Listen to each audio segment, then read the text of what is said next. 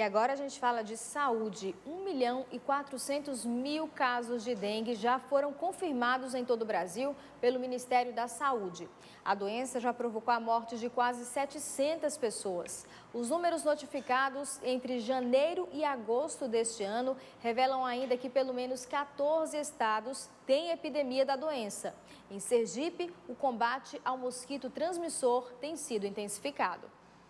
A guerra contra o mosquito Aedes aegypti ganha cada vez mais estratégia. Uma brigada com quase 100 agentes epidemiológicos está indo de cidade em cidade por todo o estado de Sergipe. Foram pessoas preparadíssimas, ele tem um know-how técnico de informação.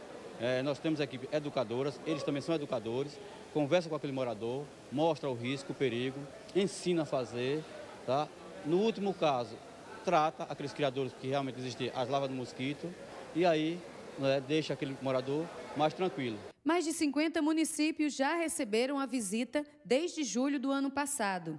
Nós podemos ver que grande parte do problema da dengue hoje em si não é só os reservatórios de água, mas sim a falta de conscientização do próprio morador consigo mesmo e até seus vizinhos. Se eu não cuidar da minha casa e o meu vizinho cuidar, eu posso fazer com que ele também adoeça. Então tem que ser um trabalho em conjunto, população, os agentes e todos. A principal função da brigada é a educação em saúde e orientação de como destruir possíveis criadouros do mosquito causador de dengue, chikungunya e zika. Se eles porem em prática, eles irão fazer toda a diferença, porque a questão é que eles irão passar também para a nova geração, para as crianças. Trabalhar com criança é assim, é fantástico, porque a gente passa todo o conhecimento, eles vão lá, ajudam nas suas residências, eles incentivam as suas famílias. É o que nós vemos aí, é muito importante também o trabalho educativo com as crianças, como aqui na nossa brigada nós atuamos também nas escolas, nas instituições. Eles visitam de 3.500 a 4.000 residências por cidade. Passam até três dias hospedados na localidade. Em cada casa, realidades diferentes. Em alguns casos, além de orientação, é preciso usar larvicida. Não foi esse o caso da Tátia.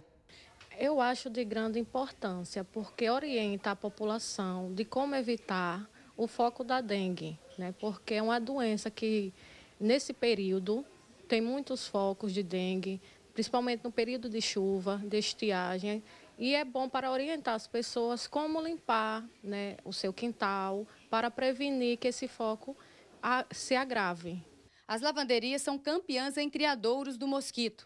Aqui na casa da Tátia, de três em três dias, ela mesma faz a supervisão e limpeza para evitar focos da larva. Parece coisa simples, mas é dessa forma que nunca houve um caso de dengue na família.